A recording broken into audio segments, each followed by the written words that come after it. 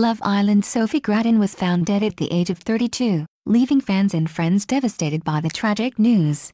And in her last interview before her death, the reality TV star revealed how the online bullying she faced after appearing on Love Island in 2016 had been horrific.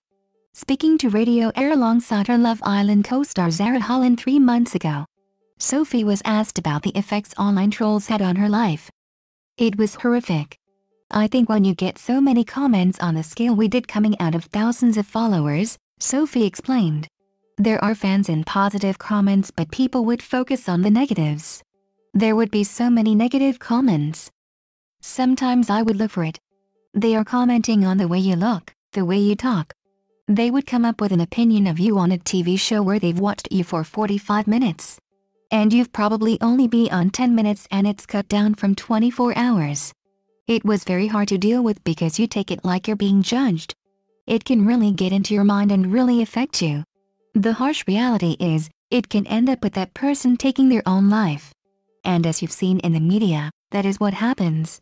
Can you imagine being responsible for that? Sophie's current boyfriend Aaron Armstrong announced the sad news of her death on Facebook. Writing, I will never forget that smile. I love you so so much baby, you're my world forever and always. Her death isn't being treated as suspicious, police confirmed.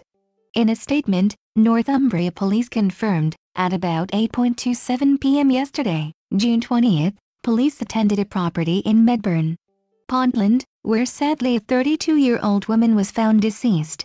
There are not believed to be any suspicious circumstances surrounding her death. A report will now be prepared for the coroner.